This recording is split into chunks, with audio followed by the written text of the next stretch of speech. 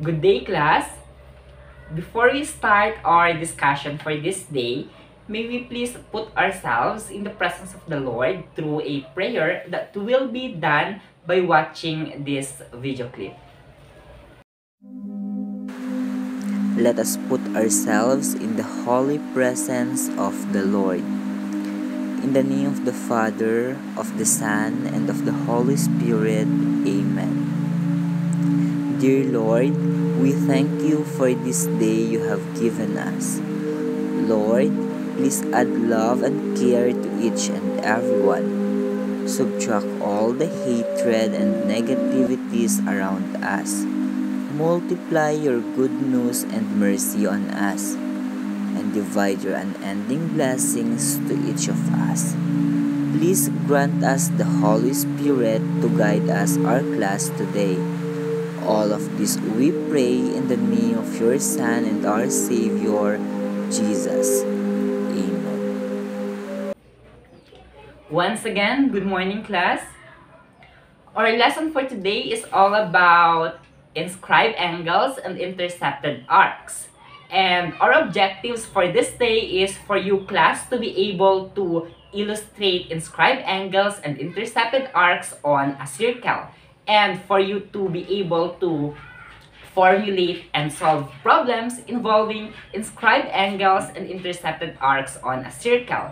And lastly, for you to be able to derive inductively the relations among chords, arcs, and inscribed angles. Before discussing our main topic for this day, let us first have a recap or review of our previous topic. And we will have it through a group activity. And this group activity is called chain notes. So, how are we going to do this, sir? Well, since I said that it is a group activity, I will group this class into two. The one sitting on this side will be our group 1 and the one sitting on this side will be our group 2. Is that okay? Alright. Since we already have our group, I will give each group a sheet of paper which has the word circle written in its uppermost part.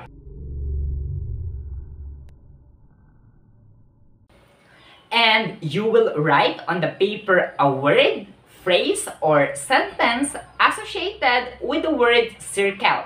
The learner whom I gave the paper will start writing. After that, he or she will pass the paper on the other member of the group and the same process will be observed until all the group members had written in the paper. You will choose one representative to present your output. Is that okay? Okay, let's start the group activity. You did an amazing work, class. All the words, phrases, and sentences that you wrote on the sheet of paper are all connected or associated on the word circle. Your work is indeed amazing. Do you want more? Alright, let's have another group activity. And this time, it is called inscribe me. Since I said that it is again a group activity, you will maintain the same group and each group will do the following procedures. First, on a cartolina or old calendar, you are to draw a circle whose radius is 5 inches. Mark the center and label it C. Second, extend the radius to form a diameter of 10 inches. Mark and label the endpoints of the diameter with M and T. Third, on the semicircle, mark and label three points. You label the first point O, the second point U, and the last point N. Fourth, draw three different angles whose vertices are O, U, and N respectively, and whose sides contain M and T. And then you are to find the measure of each of the following angles using a protractor. First is to find the measure of angle MOT. Second is to find the measure of angle MUT. And third is to find the measure of angle MNT. That's all. Do you have any questions, class? Since it seems like you don't have questions, you may now proceed with your activity. Anyway, the instruction or the procedure is on the board. You may just look at it. And later, if you think you need to ask me, don't hesitate to come and ask me.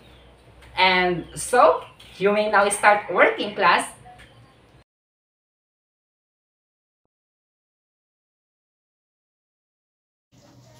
You did great class. Now, what can you say about the measures of the angles?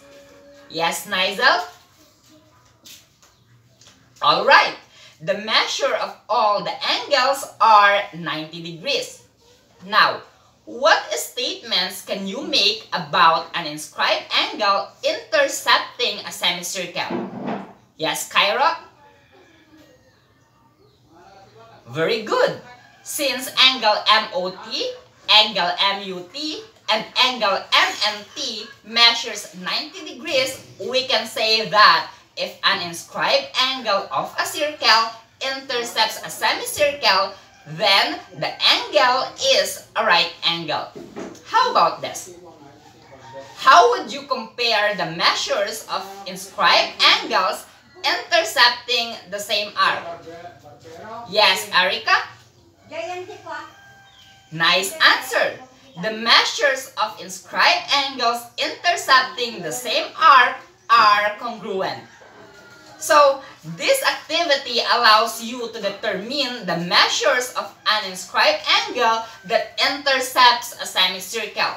In the next activity, you will find out how inscribed angles are illustrated in real-life situations. This activity is called 1, 2, 3, say cheese.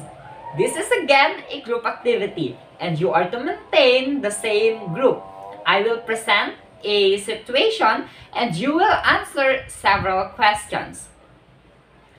The situation is Janelle works for a realtor. One of her jobs is to take photographs of houses that are for sale.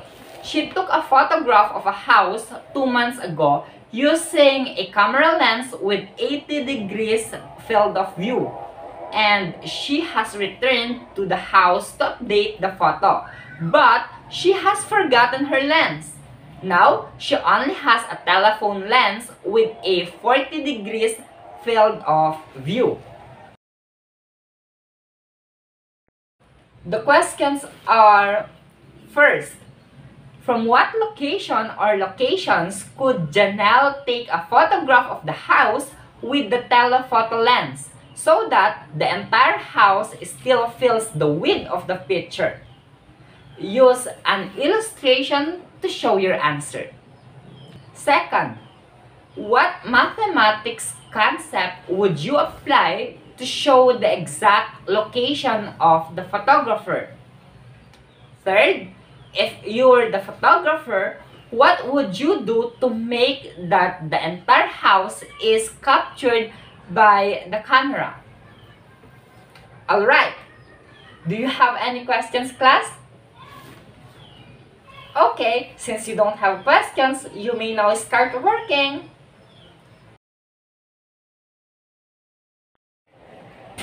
How did you find the preceding activities? Are you ready to learn about the relations among arcs and inscribed angles of a circle? I am sure you are. From the activity done, you were able to find out how inscribed angles are used in real-life situations. But how does the concept of inscribed angles of a circle facilitate finding solutions to real-life problems and making decisions? You will find this out through the activities. But before doing these activities, let us first discuss some important notes regarding inscribed angles and intercepted arcs. So, let us now define an inscribed angle. An inscribed angle is an angle whose vertex is on a circle and whose sides contain chords of the circle.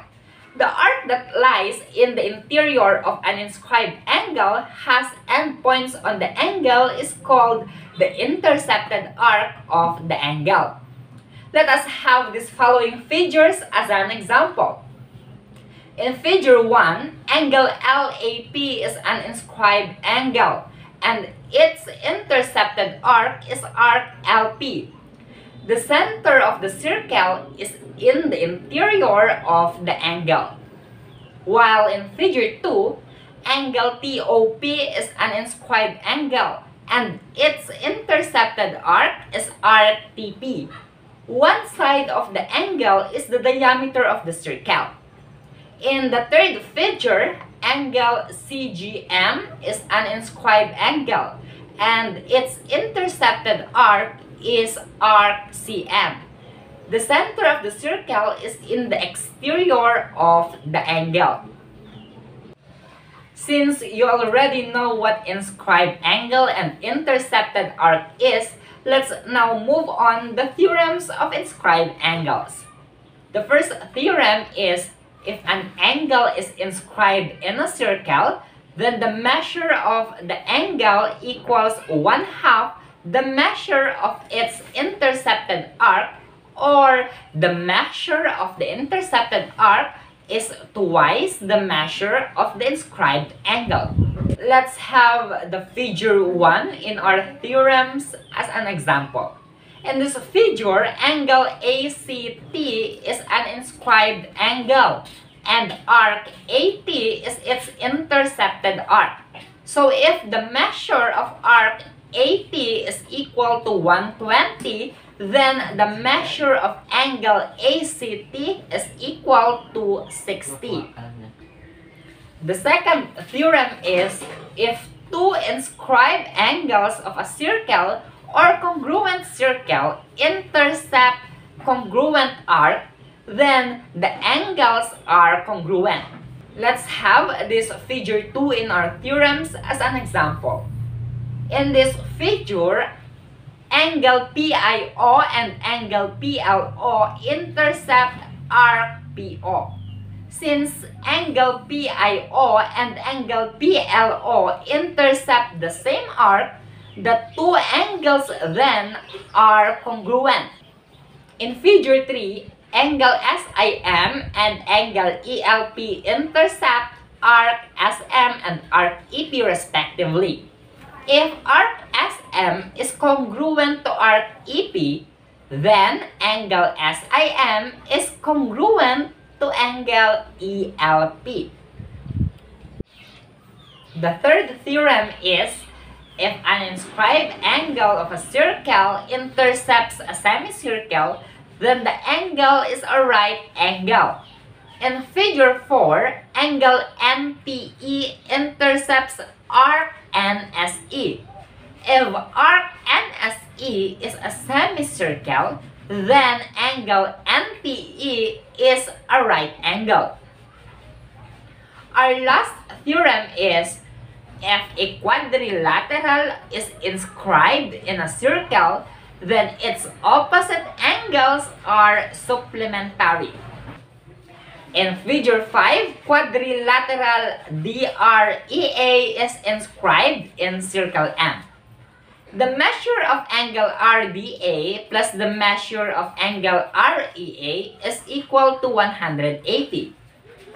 While the measure of angle DRA plus the measure of angle DAE is also equal to 180 because our theorem says that if a quadrilateral is inscribed in a circle, then its opposite angles are supplementary. And we all know that when angles are supplementary, it means that the sum of those two angles is equal to 180. So, those are the theorems that you need to know about inscribed angles. Now, do you have questions? Clarifications? Since you don't have questions and clarifications, let us have an activity. The activity that you are going to do is a graphic organizer. You will make a graphic organizer of your own choice. It means that you can make a matrix, a fishbone map, bubble map, or any other graphic organizer of your own choice as long as you can summarize your understanding of the different theorems of inscribed angles and to familiarize yourselves of those theorems, which will help you in solving problems involving inscribed angles. The graphic organizers that you will make should be made creatively and should be presentable. So, that's what you're going to do. Did you got it? Alright, start working. I like that. Good going.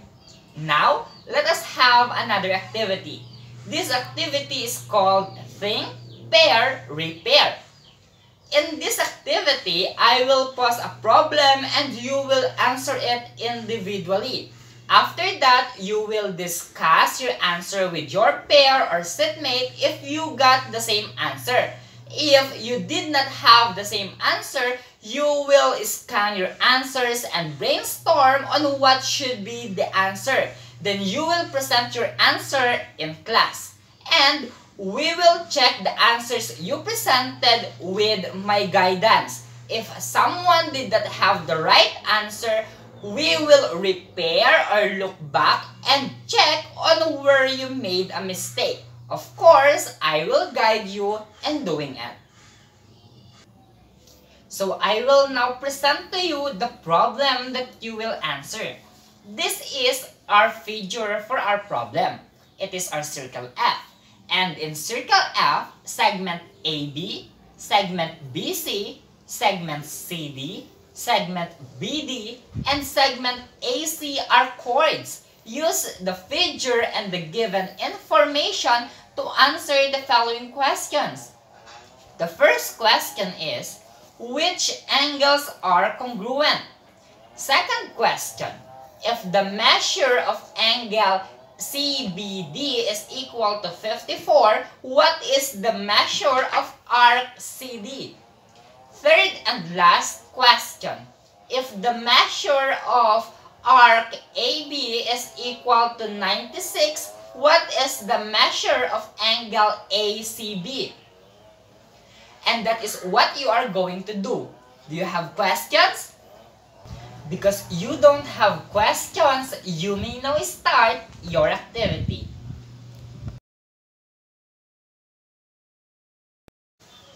Wow!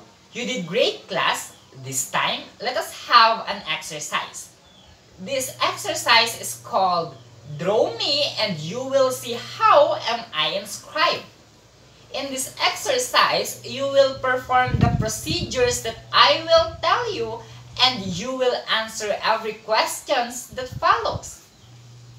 So the first thing that you are going to do is use a compass to draw a circle. Mark and label the center of the circle as point E. Then, draw a diameter of the circle. Label the endpoints as D and W. After that, from the center of the circle, draw radius EL. And using a protractor, answer these questions. What is the measure of angle LEW? How about the degree measure of arc LW? Why?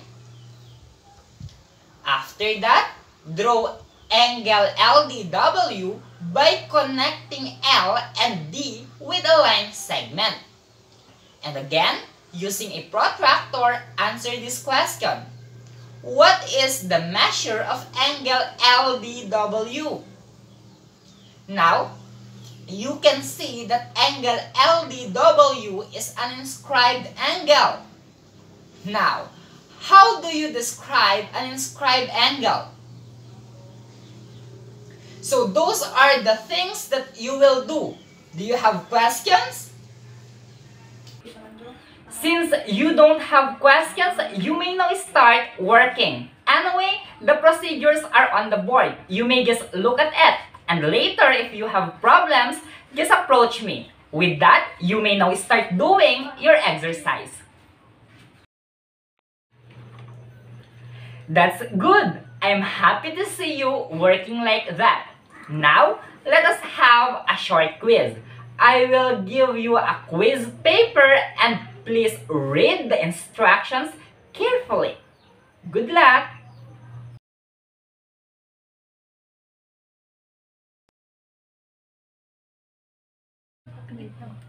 That's really nice. It is a pleasure to teach when you work like that. Now, I am going to give your homework. This homework is called How Special is the Event. In this homework, you are to make a design of a stage where a special event will be held. Include in the design some circular objects that illustrate the use of inscribed angles and arcs of a circle. Explain how you applied your knowledge of inscribed angles and intercepted arcs of a circle in preparing the design. Then, formulate and solve problems out of this design that you made. Do you have questions? Since you don't have questions, you may now copy your homework. You certainly did well today, class. I am so proud of you. So, let's call it a day. See you tomorrow, class. Bye-bye.